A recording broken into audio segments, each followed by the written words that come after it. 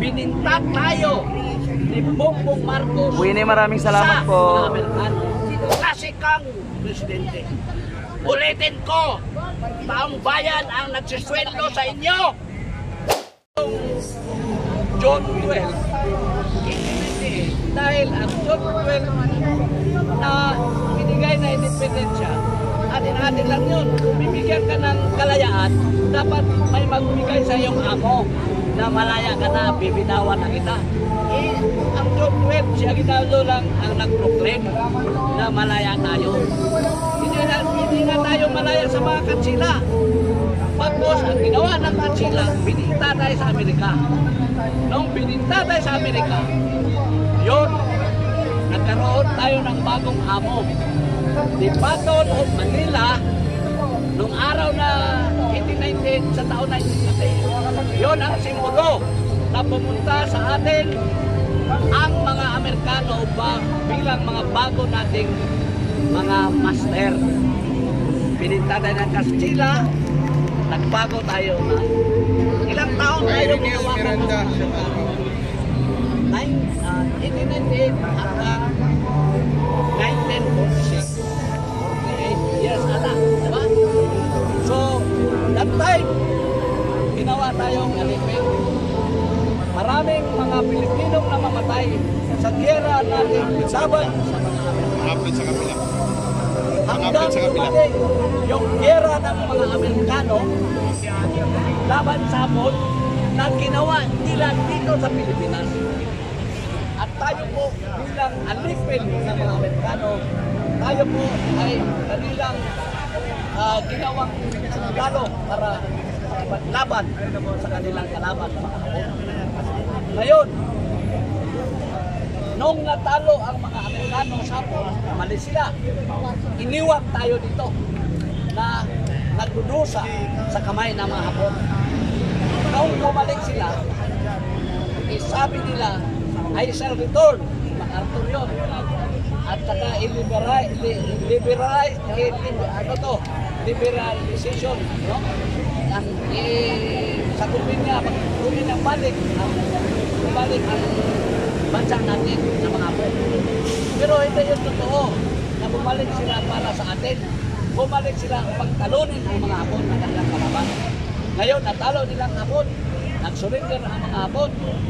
At ngayon, dahil nagiba ang bansa natin sa gira ng mga Amerikano laban sa mga Hapon, in 1946, July 4, 1946, kasi ayaw nila tayong i-rehabilitate dahil sirang-sira ang Pilipinas. Sa Manila, bagsak.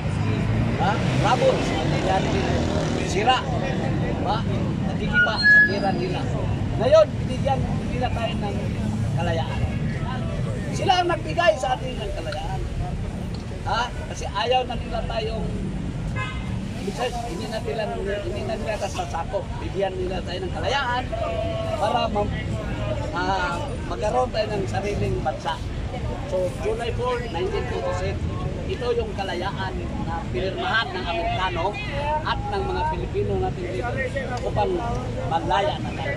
Speaking of malaya, malaya, tunay na ba tayo malaya sa mga? Ito nga, nung binigyan natin ng kalayaan, ano ginawa? Binabayaan na nila tayo. Ha? Binabayaan nila tayo umilig sa Para, para maiayos ang kanilang tinulungan, ang hapon, ang kalaban nila. Di ba tinulungan nila ang hapon upang magkapa-rehab, rehabilitate sa kanilang Bakante pa po dito. pagkagiba din sa Biera, pa, kontra. Pero tayo, hindi, hindi nila tayo. So ibig sabihin, ginamit tayo, ginawa tayong alipin upang ang mga kalaban ng Amerikano ay ginamit tayo. So July 4, 1946. So ibig sabihin, kung binigyan na niyo kami ng kalayaan, para makatindig kami namin sa sarili, huwag na kayong ah, huwag na kayong bigyan nyo kami ng tunay na kalayaan. Huwag nyo pa, do not interfere in our own internal affairs as a independent. Pero yun nga, nandito pa rin yung mutual defense treaty. Yung MDT naman, okay lang yun. Kasi siyempre nakasama tayo sa kira, ginawa nila tayo ng kanilang mga uh, alipin. So sabi nila, kaibigan tayo, yung MDT natin, pag, pag ang Amerika ay atakihan ng aming mga, ng kanilang mga kalaban, pili tayong pumunta sa Amerika, tutulong tayo kanila sa gira. Kung tayo naman ay gigirahin, andito sila daw tutulong. The last bastion of U.S. colony, the last symbol sign of U.S. colony in our country is yung pinaalis natin at base militar. Diba? Ayan si Sir. Ha? Pero pinaputok mo na siguro yung pinatubo. Hindi nila mabibit yung mga mga armas nila eh. Ang mga nuclear warhead nila andun lang. Kaya nga pumutok ng pinatubo, eh, puro Kada- lahar lang yung nakita. Wala namang Sino nga si ka Kadado? Anyway, dahil nakilaban ang ating Sige, comment lang kayo para mabasa. Nakilaban ang ating mga senador. Ay, hindi pala ni Tro. umalis sila. Lagi ko na Nung natatanong. umalis sila. So, ibig sabihin, Baka matutong pa. totally malay. In 1991 yun na, totally malay. Ngayon, pag-usapan natin ngayon. Ah, anong ginawa nila ngayon? Bumalik sila. Di ba? Bumalik sila dito sa atin ngayon. Dala ang kanilang mga armas pandirigma. Delikado, mga nuclear ito ng mga armas na inaayawan na nga ito ng ibang bansa. Dinismantle na nila ito, ban na ito, pero dinala nila ngayon. Lahat na pwersa ng Amerika ang dito na ngayon. Sabi mo na sa mga general ng Amerikano dito nakatulong kami ng Israel ng Gaza. Yun ang resulta. Tayo po'y ah, tayo po'y live in a peaceful way.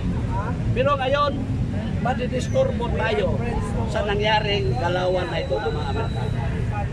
Dumating ang mga pwersa, ilang Itka sites pa ang.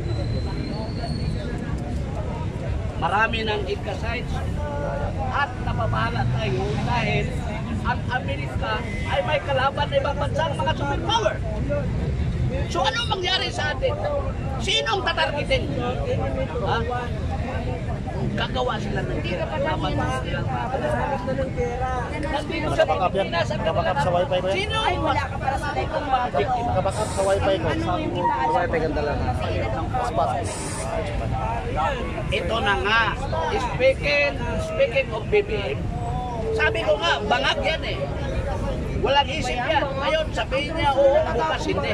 Pumunta sa China, nanalo siya. Pumunta sa China, sabi niya, itutuloy niya ang foreign policy ko na friend to all, enemy to no one. Pero pumunta sa Amerika at sabi naman niya, ay, wala yun. Kayo ang susundin namin. Ah, sige, sige. Lang. Sige, kung gusto niyo kirahin ang China, sige. Gawin niyo kami lang, lang. proxy war. Yun mo ang, uh, usapan doon. Pero meron siyang hiniling. Wait lang, sige. Wait lang, ina ko malagyan mo. kagandaman nila, ko ng pera noong panahon ng tatay niya. Bukas balik kayo sa niyo ko. malalagyan ko yan. At saka yung kaso ng yun. gusto niya wala ang sala doon. Ibig sabihin, bininta tayo ni Bongbong Marcos Winnie, maraming salamat sa po. mga Amerikano. Pax Queen shoutout, Jinya, Jesus Yan ay Arriba Pilipinas, Nigalab shoutout. Pagtataksin Salamat Winnie, salamat. sa ating bayan at sa ating Ang inayaw ang pangagaw, huwag niyo magkulit signal ko. Yun ang Nasaan ko kayo eh. Ginawa ni Bongbong Marcos. Diba? Sa kanyang sariling kayo, nangibabaw. Alam mo naman si kayo. Walang utak yan, hindi yan ang isip. Diba? So, ginawa niya ito. Wala yung gawin ng militar kasi ito Una-una, I will challenge Congress. Ah. Is the act of the President. Sa ngayon ako. Anong sinabi ng ating batas? Constitution. Section 2, Section 8 of Article 2. Wala tayong pulisya sa gera at bawal ang mga armas nuklear. pero ang problema lahat ng mga politiko may ang mga politiko, ang mga ang mga nagsisilbi ko no sa ating gobyerno, sinasweldohan natin yan. Binabayaran natin yan. They are our public sector. Dapat tuliksain natin sila. Ang kinakain nyo, ang kinakain ng pamilya nyo, ang binulsa nyo ay pera ng taong bayan. Bakit hindi kayo tumindig at ipaglaban ninyo ang interes ng taong bayan? Sinusundan. Di ba? BBM, lalo na ikaw. Ha? Lalo na ikaw, BBM. Binoto ka ng taong bayan. Kami, we spend our own money. Yung buhay namin, tinaya namin. Dahil, ang sabi mo, itutuloy mo ang mga programang pagbabago ni Pangulong Duterte. Kaya nga pumunta kaming lahat sa iyo dahil sa iyong promise. Pero nung nakaupo ka na, nag-iba ang iyong utak. Ganon siguro talaga ang isang adik, ang isang kabuk, ang isang kapumulong. Walang matinong utak. Kaya nabiktima mo kami ng mga tao. Uy, hindi na sa brother. Nasa Ganon, vlog ang laki ng Uy, kasalanan pumunta mo. nga ako sa live mo eh. Eh, Di ba? Nag-live ko. Marikanta to It is our right Oh, ba? kick you out Yung, yung, because ano, yung, we paid you. Ba yun? Sinunuhan ka namin. Bukas akyat ka ah, sa live. Lahat kayo na sa gobyerno. Kaya nga, bukas kayo ng pera sa taong bayan. At amin bukas. Amin. Kainan. So, tatlo ang branches sa gobyerno. Alam ko, may kainan kasi pinapakyan mo eh. Legislative, tsaka judiciary. Anong ginawa ninyo ngayon? Hindi na ako hindi nila gagawin. Anong ginawa ninyo sa bansang ito? Ha? Bakit hindi kayo manindigan para sa taong bayan? Lalo na sa banta ng gera na tayong lahat ay mamamatay. Kayong mga negosyante, kayong mga oligarko na nagsaside ngayon sa side ng mga oligarko. Marami kayong negosyo. Tumatayo ang mga building ninyo. Lahat nito inyo. Pero ano mangyari dyan kung magputukan maggera? Isang hulog na bomba. Wala lahat yung inyong lahat na mga investment. Ang last na lang sir.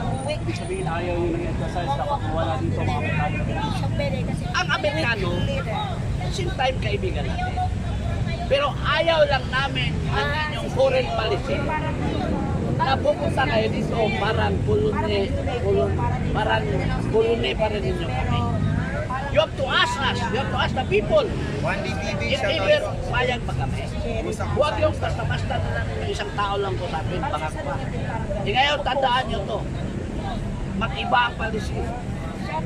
Pag si Trump ang mauto, si Trump ay for peace. Hindi katulad ni Biden, na pareha sila ni BBM. Wala nang laman ng utang. Si, si Nair na papalis outside. Sige, sige, sige pa. Wait lang ah. Mag-comment ka sa akin na sa isang So ngayon, kaya kinasal namin itong Marcos ka. Kasi wala na kami magawa. ng. Enough is enough. We have had trouble. Enough of the trouble. Marami ng kaguluhan. Mataas na ang kagutuman. Bumalik ang droga. Bumalik ang criminality. Bigas saan? Ang 20 pesos mo. Thank you. Di ba, nag-iisip ka ba? Tinugutom mo kami. Ibig sabihin, kung ginawa dito, oo ka sa patayin ang mga kapatid mong Pilipino. Anong klase kang presidente? Ulitin ko, taong bayan ang nagsisweldo sa inyo. Kami, we are the taxpayer. Kami ang bumuhay sa inyo dahil sinusunduhan namin. Huwag niyong sabihin na yung mga ginagastos niyo karon, pira niyo yan, hindi. Amin yan. Kahit pa mga ninakaw ninyo, pira ng bayan yan. Makonsensya kayo! Makonsensya kayo sa taong bayan. Bigyan mo kami ng hustisya. Kasi yung mga ninakaw ninyo, yung mga ari-arian ninyo ngayon, hindi yun mabitbit ninyo, papatay na kayo, kahit patay tayo lahat sa gira. Wala kayong madala sa ibang ano, pagpatay na dahil lahat. Wala. Even yung mga, sin- mga treasure ninyo, mga ninakaw, hindi mapipit.